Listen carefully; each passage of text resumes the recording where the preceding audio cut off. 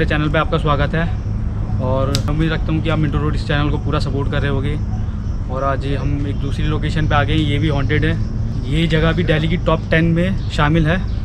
और आप गैस कर सकते हैं ये जगह कौन सी हो सकती है। चलिए मैं आपको बता देता हूँ ये है द्वारका सेक्टर नाइन का मेट्रो स्टेशन तो अभी हम खड़े हैं दिल्ली के सबसे हॉन्टेड जगह पर आज मेरा दोस्त मलकान सिंह मेरे साथ है ये मेरे कॉलेज का दोस्त है। और काफ़ी टाइम बाद हम आज मिले हैं। मेरे कहने पर आ गया। तो भाई ये वो जगह है, वो सामने जो दिख रहा है, वो चबूतरा, जो हॉन्टेड ट्री के नाम से फ़ेमस है।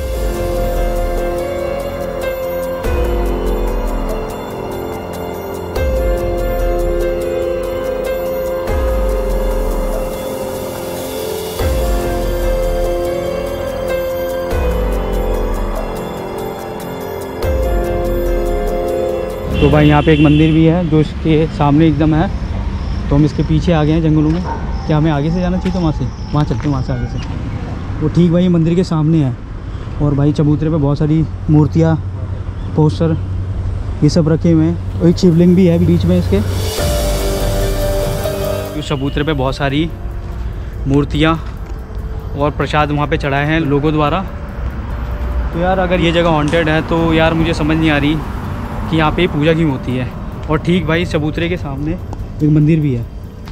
तो मंदिर हमने अभी पास से दिखाया था, वो बोरा चबूतरा जिसको बहुत ही ज़्यादा हॉन्टेड बोला जाता है। इस जगह को लेके एक एक स्टोरी फ़ेमस है। वो कहानी ये है कि इस सड़क पे आज से काफ़ी साल पहले एक लेडी जा रही थी तो उसका एक्सीडेंट हो जाता है। तो वो बहुत ही ज़्यादा मतलब इंजर्ड हो जाती है तो यहाँ से आसपास गुजरती हुई गाड़ियों से वो बोलती है कि मेरी हेल्प कर दो, मेरी हेल्प कर दो। तो उसकी हेल्प किसी ने नहीं करी। तो इस वजह से बोला जाता है कि उसकी आत्मा यहाँ भटकती है। तो ये कहा जाता है कि अगर रात को कोई भी यहाँ से क्रॉस हो तो वो चुड़ैल, वो भूत सफ़ेद साड़ी में उनके पीछे पड़ जाती है और उनको चाटा मारती है। तो दिन में तो हमें ये जगह बिल्कुल भी हॉन्टेड नहीं लगती और हम देखो यहाँ पे खड़े हैं, पूरा एकदम क्लोज से आपको दिखाया उसके पास से भी गए। पता नहीं क्यों यार, इतनी कहानियाँ इस जगह के लिए फ़ेमस है। तो वहीं मंदिर के पीछे भी एक जंगल है, जो कब्रिस्तान पे पूरा बना हुआ है। ये मंदिर भी कब्रिस्तान पे बना हुआ है तो कैमरामैन से बोलूँगा, दिखा दे। तो इस मंदिर के जस्ट पीछे भाई, ये है पार्क, जो ये भी हॉन्टेड है बहुत ज़्यादा, और उसको क्यों इतना हॉन्टेड बनाया गया है तो वो हम अभी आपको बताते हैं। भाई मंदिर का पीछे वाला हिस्सा है। मैं आपको दिखा रहा हूँ तो उधर जंगल है यार, वो घासें बहुत बड़ी बड़ी तो उधर जाना ठीक ही नहीं है। बाकी आप विजुअल में देख सकते हैं। दादा भाई वाला मंदिर पीछे रह चुका है, और हॉन्टेड ट्री जो है, पीपल का पेड़, वो भी पीछे निकल चुका है हमारे बैक साइड में। और हम आगे की ओर जंगल की ओर बढ़ते हुए हैं। मलखान मुझको ये बता हम्म। तू यहाँ पे आया मैं भी यहाँ पर हूँ हम्म। तो क्या तुझे ये जगह हॉन्टेड लग रही है? ऐसी कोई नेगेटिविटी यहाँ पर अभी नज़र नहीं आई है। दिन का इस टाइम टाइम हुआ है। लगभग छः साढ़े छः के करीब का टाइम है। तो ऐसी कोई नेगेटिव एनर्जी इस टाइम तो नहीं है। रात में कितनी है कितनी पॉसिबिलिटी है यहाँ पर वो हम कह नहीं सकते। पेड़ भी इतने घने नहीं है कि बहुत ज़्यादा पास पास हो काफ़ी डिस्टेंस में है पेड़। और पार्क भी काफ़ी खुला है। ऐसा नहीं है कि काफ़ी क्लोजनेस है सारी ट्रीज़ में ऐसा कुछ नहीं है यहाँ पर।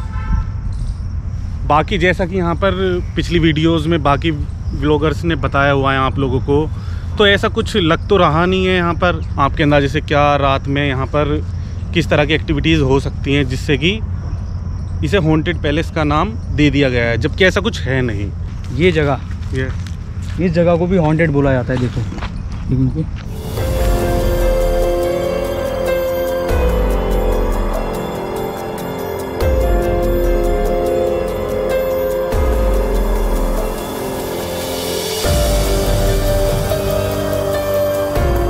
अभी हम अंदर आ गए हैं जंगलों के बीच में तो इस जगह को बहुत ज़्यादा हॉन्टेड बोला जाता है। तो हमें तो भाई अभी कुछ ऐसा लगा नहीं कि क्यों हॉन्टेड बोलते हैं इसको। बाकी आप विजुअल्स तो देख ही रहे हैं। कमेंट करके बताइए कि लोकेशन को देख के आपको क्या फ़ील हो रहा है।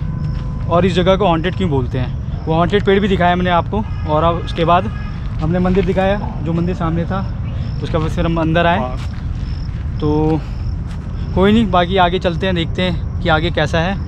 और भाई जैसे आप बर्फ़ जोन की वीडियो आपने देखी होगी कि उसका जूता पेड़ पे अटक जाता है तो भाई वो तो पूरा एकदम फेक था। पर बाकी जो व्लॉगर्स ने जैसा कि बताया कि हॉन्टेड है काफ़ी ऐसा कुछ नहीं है।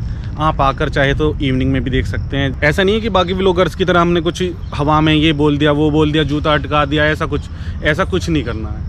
आपको भी रियल सेंटेंस यूज़ करते हुए हमको अपना फीडबैक देना है। तो भाई, जैसे कि मैंने यूट्यूब पर एक वीडियो देखी थी, वो भी हॉन्टेड ब्लॉग करता है, उसका नाम ओम ब्लॉग है। आप लोग जानते होगे उसे। उसके चैनल पे सिर्फ़ हॉन्टेड वीडियो ही होती है। तो भाई, मैं उसके बारे में एक बात बता दूँ। उसके बारे में क्या, उस बंदे ने ही उस वीडियो में बताई है यहाँ की जब वो ब्लॉग कर रहा था तो उस बंदे ने उस वीडियो में बताया था कि आज से कई साल पहले उसका दोस्त और उसकी गर्लफ्रेंड स्कूटी से लेट नाइट मूवी देख के जा रहे थे। इसी रास्ते से जा रहे होंगे। ओम ब्लॉग ने बताया कि उनके पीछे कोई बूढ़ा व्यक्ति साइकिल पर आ रहा था। तो ओम ब्लॉग के दोस्त की गर्लफ्रेंड जो स्कूटी के पीछे बैठी हुई थी, अपने बॉयफ्रेंड को बोला कि हमारा कोई पीछा कर रहा है, कोई बूढ़ा व्यक्ति हमारा पीछा कर रहा है तो उसका बॉयफ्रेंड जो चला रहा था। तो एकदम ना उसके चुलसी मची मतलब एक जिज्ञासी क्यूरियोसिटी बोलते ना इसे।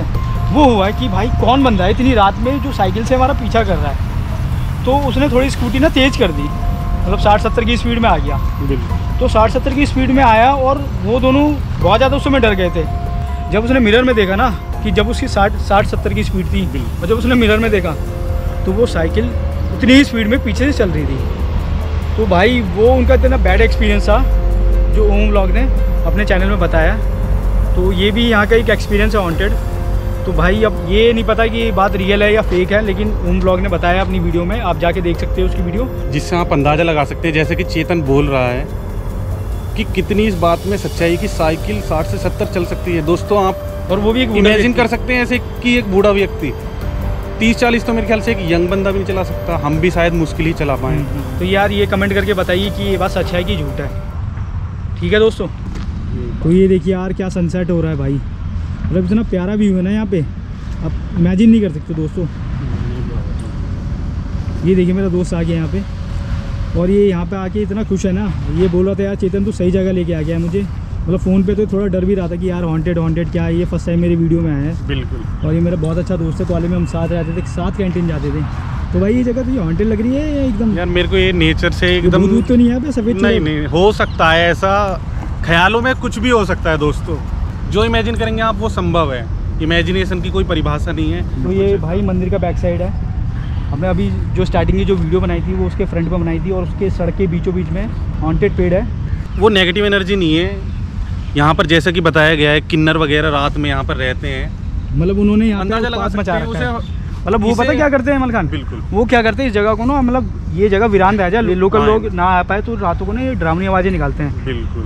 ताकि लोग यहाँ पे ना आ पाए। और उस चक्कर में लोग ना डरते भी हैं। वहाँ पे देखा आपने वहाँ पे देखा होगा पेड़ों के आसपास सारे बहुत सारे कपड़े बाँध रखे हैं कि लोग ना उसे देख के डरें कि भाई यहाँ पे ये कुछ ना कुछ है। लेकिन भाई सच में ऐसा कुछ नहीं है। आप दिन में आ सकते हो लेकिन रात को देखो रात को मैं इसलिए रिकमेंड नहीं करूँगा आने के लिए, क्योंकि देखो यहाँ पे शायद अंदर ना स्ट्रीट लाइट नहीं है, जरा सी एक एक भी जगह ना स्ट्रीट लाइट नहीं है। तो अंधेरा रहेगा तो अंधेरी वाली जगह पे आप जानती हो, फिर जो बैड पीपल्स होते हैं वो क्या करते हैं यहाँ पे? चीना चपटी या फिर उल्टे सीधे काम होते हैं यहाँ पे। तो यार उस चीज़ों से तो मैं कहूँगा कि आप दूर ही रहें। दिन में आ सकते हैं बेशक, दोस्तों के साथ आइए, मज़े करिए, घूमिए। बहुत एकांत जगह है कि लोगों का कहना है कि भाई पेड़ों पर पोशाकें लटकी हुई है। तो यार पोशाक लटकने, देखो कैसी लटकी हुई है, मैं आपको दिखाता हूँ, ये देखो। देखो, ये देखो। ये है। किसी ने ना जानबूझ के सब बाँध रखा है यहाँ पे। हाँ भाई सही कहा बिल्कुल बिल्कुल बिल्कुल। तो भाई इसके बारे में क्या? देख सकते हैं ये क्यों लटकाया गया है? डराने के लिए ना हो सकता है ये किन्नरों की ही कोई हरकत हो। हो सकता है रात में गलत एक्टिविटीज़ होती हो इस पार्क में। तो भाई हमने पूरा पार्क आपको दिखा दिया है। बाकी हम कोने कोने में इसलिए नहीं जा रहे क्योंकि यार वहाँ ना घासें बहुत बड़ी हो रखी है तो यार सांप बिच्छू कुछ भी हो सकते हैं। तो बाकी हम विजुअली आपको दिखा देंगे। ये देखिए ये पार्क के उस तरफ़ यह सड़क है। जो एकदम बहुत बड़ी सड़क है हाईवे जो है। और पूरा मतलब जंगल है आगे की तरफ़। वहाँ बच्चे देख रहे हैं हमें कि यार ये करके आ रहे हैं। ये देखिए यहाँ पर बच्चे भाई बच्चे ना यहाँ क्रिकेट खेलने आते हैं ये विकेट बनी हुई है।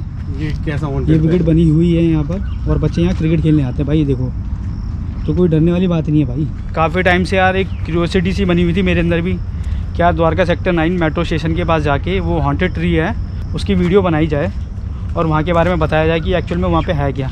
तो भाई हमें तो देखो कुछ लगा नहीं। क्या पता भाई हमें इसलिए भी ना लगो कि हम दिन में आए हैं। अगर रात में आते तो थोड़ा बहुत डर लगता। बट डर इसलिए लगता ना कि देखो हमने स्टोरीज पढ़ ली रिसर्च कर ली उसके बारे में। तो माइंड में ना वो कहानी सोचते रहते बार बार कि यार ऐसा होगा जाएँगे तो ऐसा हो जाएगा।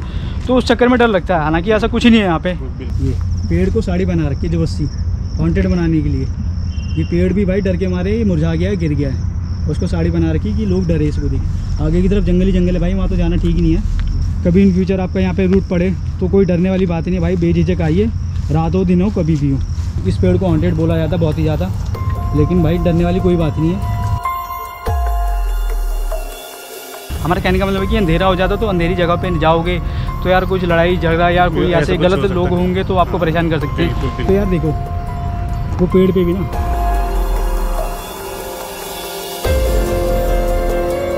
तो भाई इस पेड़ पे भी कपड़ा अटका रखा है जबस्सी का वो देखो लोगों को डराने के लिए। सोच समझ के कराया भाई जिसने भी कराया तो डरना मत भाई कभी भी। अभी हम पार्क के बाहर जा रहे हैं। आपको दोबारा एक बार हॉन्टेड पेड़ दिखा देंगे और वो मंदिर दिखा देंगे उसके बाद हम वीडियो करेंगे। क्लोज़ बिल्कुल। तो भाई अगर प्लीज़ अगर आप मेरी वीडियो देख रहे हो तो यार ज़्यादा से ज़्यादा इसे शेयर करो ताकि यार चैनल ग्रो हो मेरा। तो अगर आप छोटी सी चीज़ करोगे तो यार मुझे भी मोटिवेशन मिलेगी, मेरा चैनल ग्रो होगा और आपके लिए मैं और ज़्यादा वीडियो बनाऊँगा। ये तो मेरा यार प्रॉमिस है। तो भाई अभी हम पार्क से बाहर निकल गए हैं। ऑलमोस्ट हमने आपको पार्क दिखाई दिया, कैसा पार्क